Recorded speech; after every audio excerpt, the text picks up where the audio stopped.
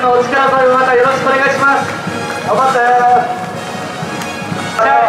いってらっしゃいいってらっしゃいまたね来年以降も福岡マラソン開催できるようにどうぞ。の応募の中から選ばれた幸運な石川の皆さんいってらっしゃいでは高島市長よろしくお願いいたします去年の4月この大会の決定を発表してから1年7ヶ月いよいよ今日第1回福岡マラソンが開催されます。皆さんようこそ福岡へお越しくださいました。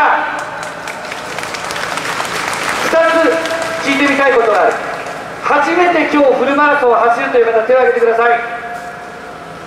頑張ってください。7時間制限時間です。比較的緩く設定できておりますのでぜひ皆さんの感想を期待します。2つ目今日福岡市外から来たという方手を挙げてください。ああと糸島市外からも。福岡糸島市外から。ようこそ福岡からお越しくださいました。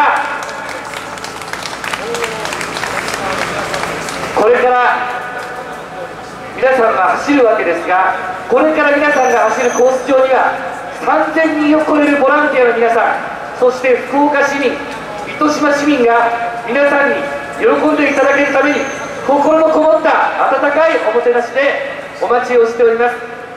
皆さん無理をせずにそれでいてぜひ完走を目指して頑張っていただきたいと思います。それではお待たせをいたしました。